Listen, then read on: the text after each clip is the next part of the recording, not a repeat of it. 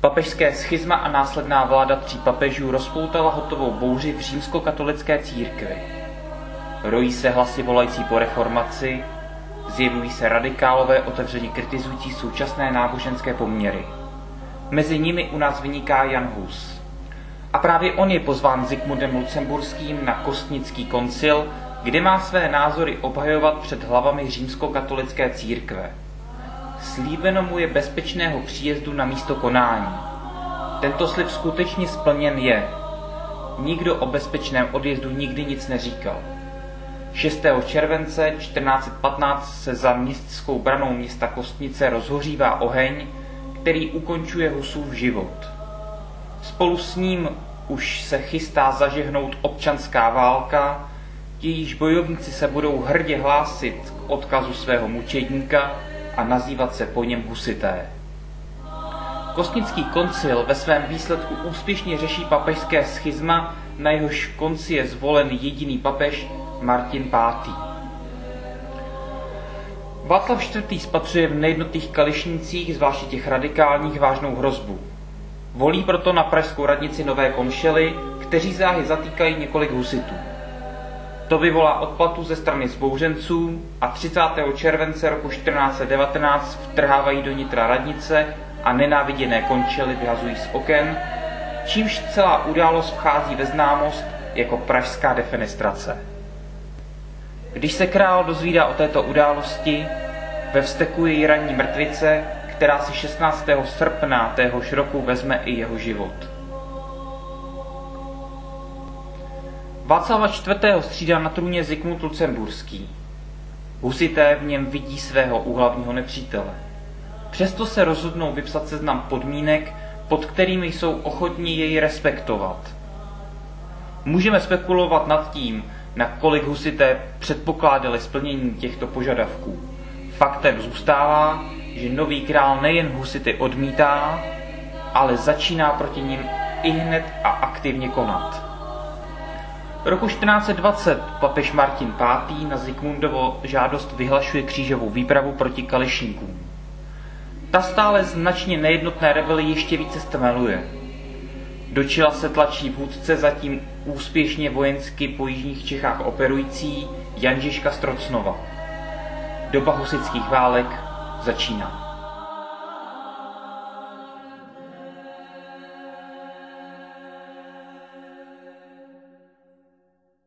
Českou zemi na několik desítek let rozděluje válečné běsnění, během něhož často křižoví vojáci vzájemně soutěží o to, kdo umí lépe před husickými vojsky utíkat.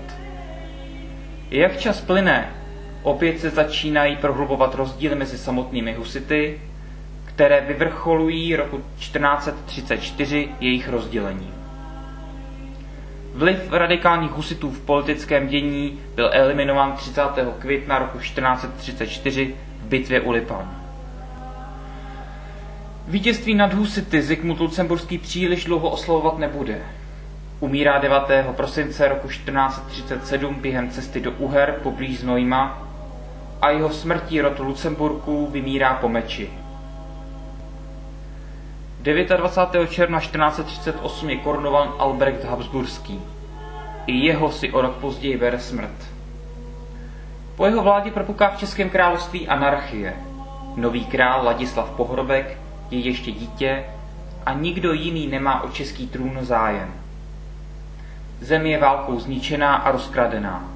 Až roku 1453 je Ladislav Pohrobek uznán ve svých 13 letech jako nový český král.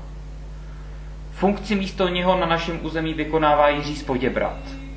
Když konečně Ladislav Pohrobek přijíždí do Českého království seznámit se s místními poměry, měsíc poté v Praze podléhá vzácné formě leukémie. Jeho oficiálním nástupcem se 7. května roku 1458 stává Jiří Spoděbrat, jediný král v české historii nepocházející z panovnické dynastie. Právě do jeho vlády můžeme vystupovat život našeho dnešního Rožumberka, který celou v rychlosti zmíněnou epochu na vlastní kůži zažil.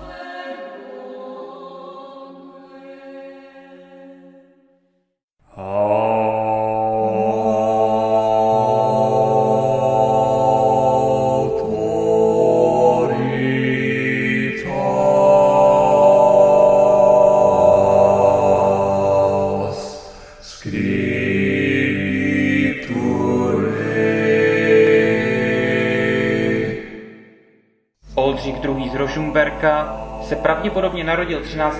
ledna roku 1403 Jindřichu III. z Rožumberka a Alžbětě z Kravař a Plumlova. Jeho portrét můžeme spatřit například na Krumlovském zámku. Zároveň tento portrét je i jakousi lží, neboť nám zobrazuje slavného Rožumberka v obleku, který se nosil až dvě století po jeho smrti. Slovo lež a tedy i samotný obraz abstraktně, ale trefně vystihuje samotnou osobu Oldřicha II. z Rožumberka. Proč se hnedka dosvíte?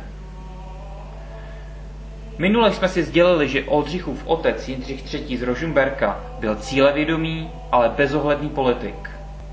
Oldřich II. svého otce v těchto bodech nejen následoval, ale v mnohém jej i s úspěchem překonal. Po smrti Jindřicha III. je Oldřich II. svěřen do péče tří poručíků. Tuto činnost ale vykonává pouze jeden z nich, a to Čeník z Wartenberka. Ten je od roku 1414 nejvyšším purkrabím pražským a od roku 1416 jedním z vůdců kališnické šlechty. To silně názorově ovlivnilo mladého Oldřicha, který začal husické myšlenky i cíle obhajovat. Ve svých 15 letech se Oldřich II. ujímá svého majetku a uzavírá snětek s příbuznou Kateřinou z Wartenberka. Jistě zatím můžeme spatřovat výhodnou politiku bývalého poručíka Čenka z Wartenberka. Smrtí Václava IV. se Oldřich stává svědkem toho, jak se z náboženského rozkolu stává zrod nové občanské války. Roku 1420 prokazuje 17-letý Oldřich značnou rozhodnost, když se staví na stranu Zikmunda Lucemburského jako královského následníka na český trůn. Nový král 31. května roku 1420 Oldřichovi přikazuje pro dobro své i koruny město tábor dobít a vyplenit. To se mu však přes veškerou námahu nedaří. Svůj neúspěch se snaží v červnu toho samého roku napravit přestupem na katolickou víru před samotným Zikmundem. Zároveň si je Oldřich II. vědom svého nevýhodného postavení. Tábor a husity má téměř na území svých rodových držav. Jeho armáda utrpěla těžké ztráty. Husité jako první v Evropě používají hromadné palné zbraně. Houfnice, děla, bombardy, píšťaly, tarasnice. Na ty ani tehdejší hradby nejsou pořádně stavěny a tak Oldřichu hrozí naprosté zdecimování všeho, co jeho předchůdci vybudovali. Pod tíhou negativních zpráv se rozhoduje s nepřáteli a městem Tábor uzavřít příměří. V téže době ho český sněm ustanovuje jako prvního správce království českého.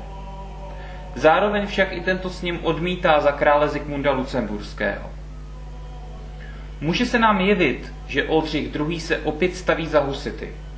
Pravda je však komplikovanější. Usuzujeme tak podle dále trvající finanční podpory Zikmunda Lucemburského v husických válkách. Ta zapříčiní, že Oldřich II. musí zastavit část svých rodových panství. Tyto finančně náročné situace ovšem plní své poslání a 30. května roku 1434 i díky nim Rožumberkové se zaslouží o poražení polních husických vojsk v bitvě u Lipan. O rok později pak rožumberské oddíly poráží zbytky husických radikálů v bitvě u Křeče na Pelhřimovsku. Zikmund Lucemburský nedlouho poté umírá a spolu s ním i rod Lucemburský vymírá po meči.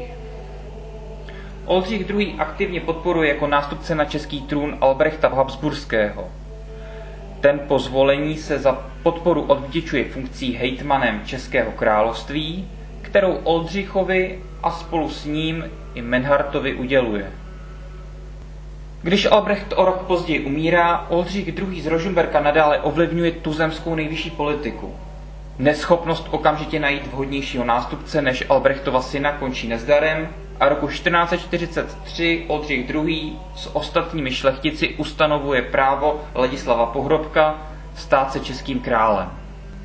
To se však nelíbí poděbradské jednotě v čele s Jiřím z Poděbrad, která se s Rožumberky a s pány z Hradce pouští do křížku.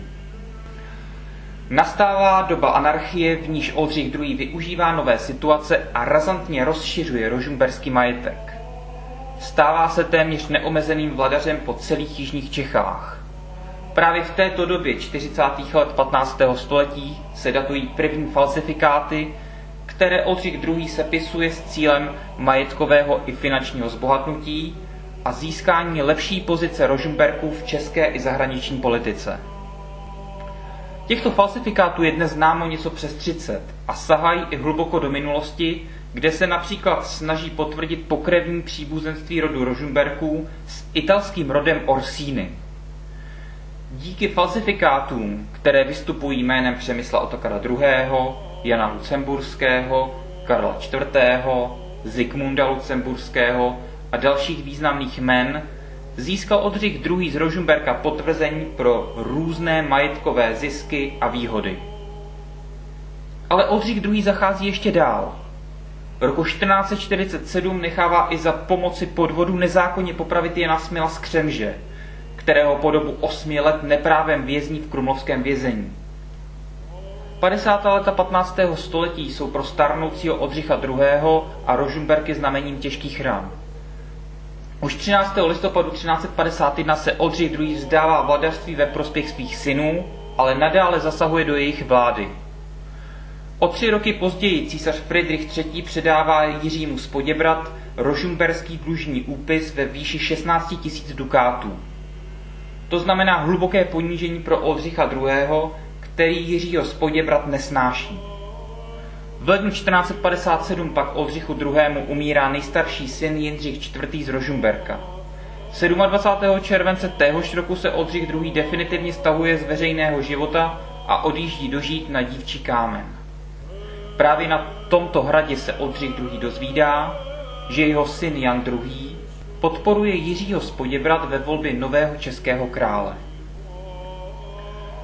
Dataci 1360 nese jedna z posledních falzifikací Oldřicha II. z Rožumberka. Ta potvrzuje nedělitelnost rožumberského domínia a důležitost funkce jediného vladaře v rodě.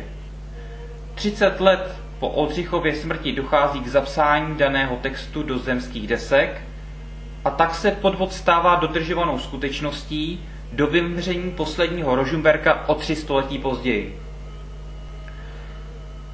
Krátce před smrtí se Oldřich vrací z dívčího kamene zpět do Českého Krumlova. I tak umírá osamocen 28. dubna roku 1462. V té době již je hlavou rožumberského rodu jeho syn Jan II. z Rožumberka. O něm si však povíme v další epizodě.